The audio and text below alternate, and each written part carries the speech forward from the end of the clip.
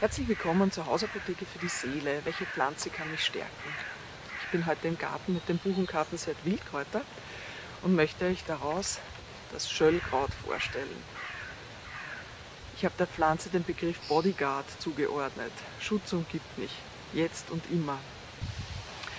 Ich habe vor einiger Zeit den Weißdorn beschrieben, dem ich die Qualität Wächter zugesprochen habe. Und das ist vielleicht ein bisschen ähnlich wie Bodyguard, Wächter.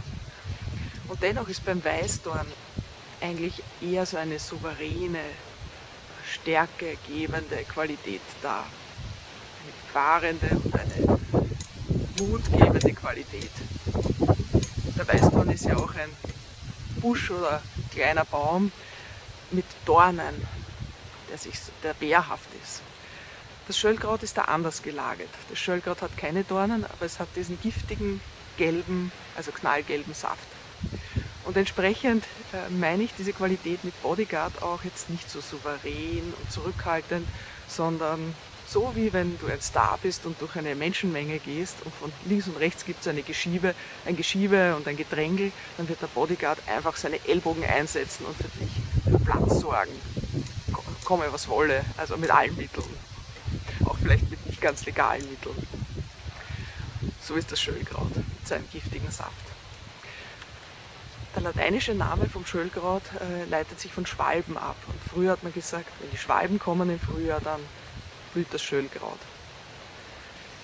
Im Mittelalter hat man zum Schöllkraut auch Hexenmilch gesagt. Es ist in, die, in den legendären Hexenflugsalben verwendet worden. Das Schöllkraut liebt es in alten Türmen, in alten Mauern zu siedeln und ist eine Verwandte des Schlafmonds. Es ist eine sehr gute Heilpflanze, allerdings muss man auf die Dosierung achten, wegen dieser Giftigkeit. Im Volksglauben galt das Scholtgaut als Friedensspender. Wenn man es in der Tasche mitführt, dann soll man Streit besser schlichten können. Genau.